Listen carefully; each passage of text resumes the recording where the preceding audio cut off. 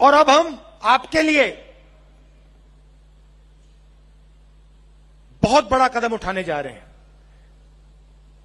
जिसको हम KG to PG कहते हैं। केजी टू पीजी में, केजी टू पीजी के वायदे में, केजी से लेकर पीजी तक,